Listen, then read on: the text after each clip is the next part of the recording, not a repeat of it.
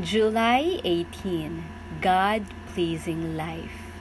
Ezekiel 36:27 says, I will put my spirit within you and cause you to walk in my statutes, and you will keep my judgments and do them.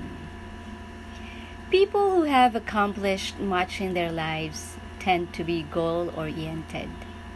They have specific goals in mind and then work very hard to reach them. Some goals are driven by selfish motives, but the goals of a Christian are different than others. When you surrender your dreams and goals to God, He will accomplish great things in you and through you. Before choosing your goal, ask for wisdom by praying, Lord, is this what you have in mind for me?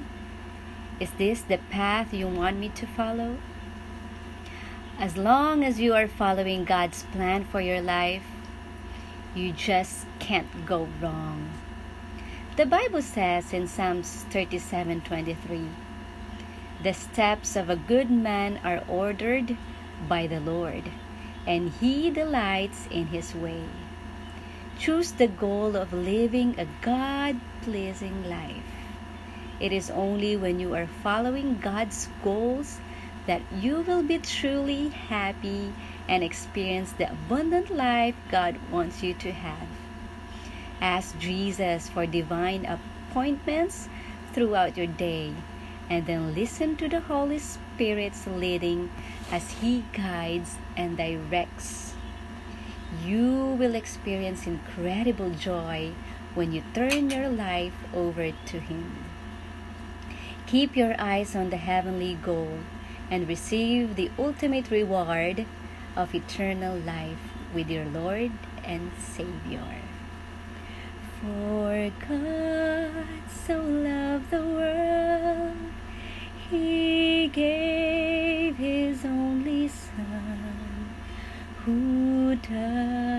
died on Calvary from sin to set me free. Someday is coming back. What glory that will be!